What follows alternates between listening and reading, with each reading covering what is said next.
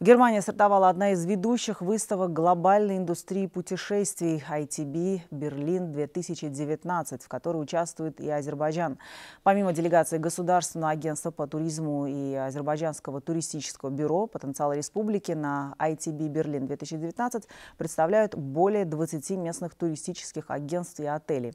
Зарубежные участники выставки ознакомились с богатой культурой Азербайджана. В экспозиции, посвященной стране, были представлены фотоработы, отражающие красоту Азербайджана азербайджанской природы.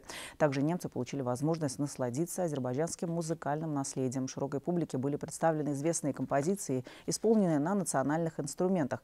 Немецкий рынок для туристического сектора Азербайджана очень важен и интересен, отметил в интервью CBC глава пресс-службы Государственного туристического агентства Кянен Гулузаде.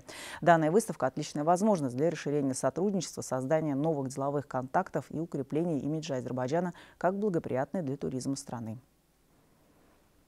Немецкий рынок один из крупнейших рынков по э, выезду э, из страны, то есть они э, миру дают очень много туристов, и мы намерены, воспользовавшись этой выставкой, продемонстрировать лучшие стороны азербайджанского туризма, раскрыть наш потенциал и привлечь в страну очень много, еще больше туристов.